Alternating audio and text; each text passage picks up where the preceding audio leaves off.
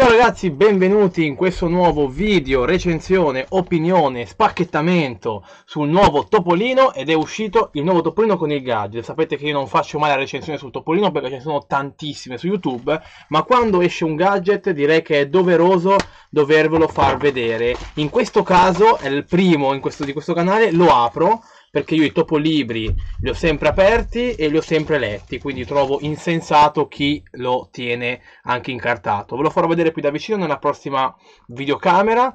Eh, allora, questo è il topolino, bellissimo. C'era infatti un volume sulle più belle copertine di Topolino 2019, che è un volume che già dovrebbe essere uscito, ma che per i problemi che sappiamo tutti non è ancora uscito. E devo dire che lo prenderò perché da quell'anno è stato l'anno di svolta. L'anno scorso è stato l'anno di svolta sulle copertine che sono migliorate un sacco. Questo grazie a Freccero, che è un po' coordinatore dei disegni, che le ha veramente rese uno spettacolo.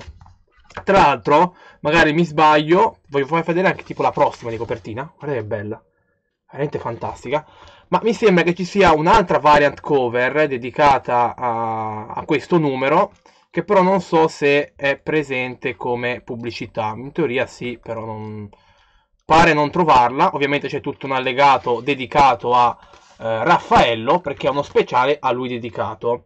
E ovviamente il protagonista di questo video, ovvero questo Topolino cartonato che racconta la storia dell'arte, anzi, ve lo faccio vedere qua, sei storie per immergersi Nell'affascinante mondo delle immagini, complice la potenza del fumetto, un viaggio alla scoperta degli artisti che hanno raccontato la storia dell'umanità attraverso pitture, sculture e architetture. Vediamolo più da vicino. Ed eccolo quindi, si presenta in questo modo il topolibro, come dimensioni siamo leggermente più alti forse di un topolino normale, come grandezza invece ovviamente molto più spesso, anche perché ricordiamolo che è cartonato. Questa è la copertina, bellissima, bellissima, io non so chi l'ha fatta, ma lo andremo a omaggiare anche l'autore. Bello anche il retro, bello anche proprio la, al, to, al tatto, al tocco, veramente molto interessante. Il tutto è costato, mi, mi pare, 8,90€, si c'è scritto qua. Eh, quindi in realtà c'è anche un piccolo sconto perché da solo questo costerebbe 6,90 il topolino sono 3 euro quindi invece che 10 sono 9 euro per cui ci sta anche onestamente la prefazione di Giovanni Muciaccia, per chi non lo sapesse, è il signore eh, che fece Art Attack, per chi un po' eh, comincia a essere meno giovane come me. E per me Giovanni Muciaccia è stato un idolo dell'infanzia.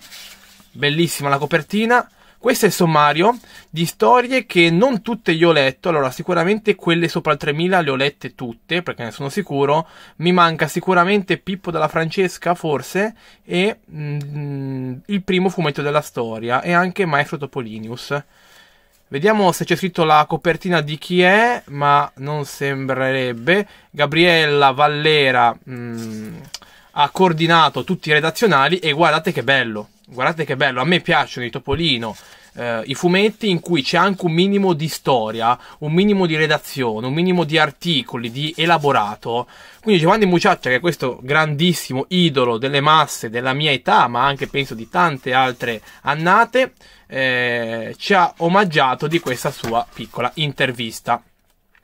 Ovviamente ci sono dunque le storie, delle curiosità, prima di ogni storia. Per esempio questa qua di sicuro non l'ho ancora letta una curiosità sulla grotta che si va a vedere e sulla pittura in questione. E io penso che esattamente davanti, prima di ogni storia, vi è appunto una propria, uh, una piccola, un piccolo elaborato. Ecco, queste sono le cose fatte bene, secondo me. Io ritengo che l'iniziativa del topolibro, perché ora vi farò vedere anche gli altri, guardate che belle anche queste immagini, semplici ma efficaci, sia l'iniziativa più bella della storia del Topolino, perché non si è mai visto fino a ormai 4 anni fa, no, 3-4 anni fa, un Topolino cartonato di queste dimensioni, con, una, con delle storie così tematiche, guardate che bella questo disegno, con degli elaborati, eh, dei redazionali, delle immagini su misura, insomma, eh, bello. Poi c'è questa storia che è bellissima, Topolino Canova, che guardate solo la bellezza di questa, di questa immagine, io me lo ricordo perché uscì per il Napoli Comic Con, mi pare, o per l'Etna Comics, una copertina dedicata a Topolino Canova. È una storia molto molto interessante, molto bella, eh, che esce forse un po' eh, dai canoni di Topolino, tutto questo fumetto di per sé esce un po' dai canoni, ma insomma vediamo i nostri protagonisti in situazioni, eh, in questo caso, eh, dell'arte. Bello, bello, bello, bello, bellissimo. Questo è il quinto topolibro che uscì, eh, che sta uscendo appunto per la Panini. Vi faccio vedere per completezza anche gli altri quattro in ordine cronologico, perché uscì questo primo, il topolibro, che in realtà, come possiamo vedere, eh, usciva ancora con il numero. In questo caso mh, mm, il numero non c'è più, perché è come se fosse un fumetto a parte, di per sé lo è. Eh, usciva col numero 3208 questo e la fattura è sempre la stessa. È sempre questa, c'è un piccolo redazionale, la storia eh, e prima di ogni storia c'è sempre un redazionale. Bello, bello, bello. Devo dire che sono sempre migliorati Topolibro, non tanto per le tematiche, ma anche per l'impostazione dell'elaborato che c'è prima. Quindi questo qua fu il primo. Poi abbiamo avuto il maggio del 2018 quest'altro di Silvia Ziche, inconfondibile il suo tratto. Anche qua, come potete vedere, cambiava la costina ulteriormente, ma ancora vi era il numero vi era il numero collocato.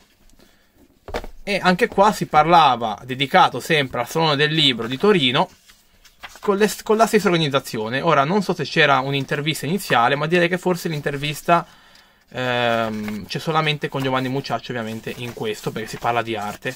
Come possiamo vedere, c'è sempre un redazionale e poi la storia. Ormai non ve lo ripeto più. Poi, l'anno scorso, direi, uscì il Topolino, il gioco del mondo. Per la prima volta venne tolto il numerino, e, e questo è quanto, insomma. Ovviamente sempre con la stessa impostazione. Storia redazionale, storia redazionale. Ovviamente di una pagina, ma è meglio che niente. Meglio veramente che niente. E poi, dulcis in fondo, abbiamo un topolino che per la prima volta non viene fatto in occasione del salone del libro, ma semplicemente un topo scienza, in cui abbiamo la prefazione di Piero Angela, sempre con lo stesso metodo organizzativo. Non ve lo dico più ormai. Ragazzi, questa iniziativa io la ritengo sia la più bella di tutti, di tutte quelle che hanno fatto ad oggi.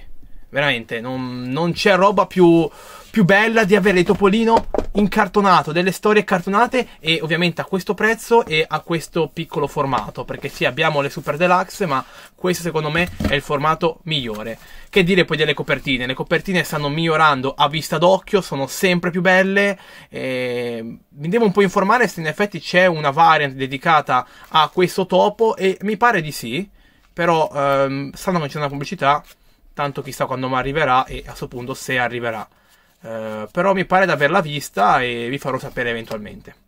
Per oggi ragazzi è tutto, vi faccio anche vedere così che vi saluto. Ci vediamo a un prossimo video, una prossima recensione, una prossima video del canale. Ciao ragazzi, alla prossima, buona lettura.